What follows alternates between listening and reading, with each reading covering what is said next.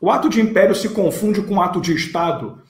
Cara, olha só, assim, ato de Estado, para mim, é uma palavra genérica. É qualquer tipo de ato que o Estado, como administração pública, está produzindo, como responsável por condução do Estado em si. Né? O Estado é a máquina pública.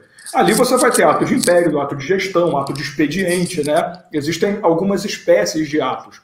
Ato de Estado é meio gênero, e que eu vou ter ali, ato de império. Na verdade, assim, tem um macetinho muito fácil.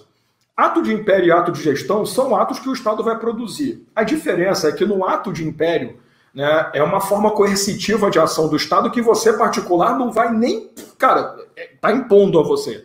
Ato de gestão, não, ele já tem uma atuação um pouco mais.